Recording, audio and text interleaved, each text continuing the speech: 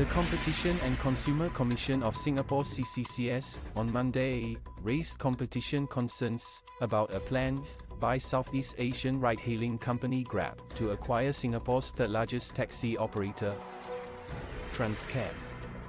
The commission said in a statement that it was unable to conclude, at the end of its first phase of review of the proposed acquisition, that the deal did not give rise to any competition concerns.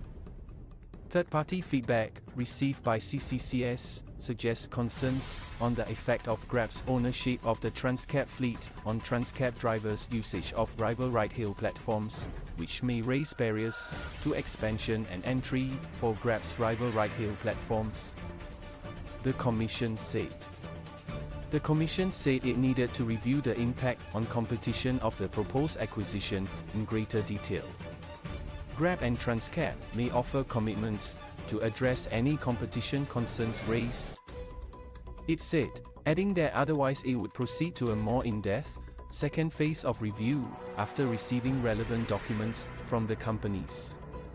A Grab spokesperson said both companies intended to abide by the point-to-point -point regulatory framework of Singapore's Land Transport Authority, which promotes open competition and prohibits any form of anti-competitive behavior, such as offering exclusive arrangements to drivers. This means that Transcab drivers will continue to have the flexibility to earn through multiple ride-hailing platforms and pick up street-hail rides. The Grab spokesperson added. The Grab spokesperson said both Grab and Transcab were committed to ensuring the benefits of an acquisition to commuters and they would help raise the overall standards of the industry. Digitalizing Transcab's fleet will improve driver productivity and taxi availability so that consumers can get a ride more easily, the Grab spokesperson said. This will also improve driver earnings. Nasdaq-listed Grab announced in July that it aimed to acquire Transcab in a deal that would include a combined taxi and private hire vehicle fleet of more than 2,500 vehicles owned by Transcab.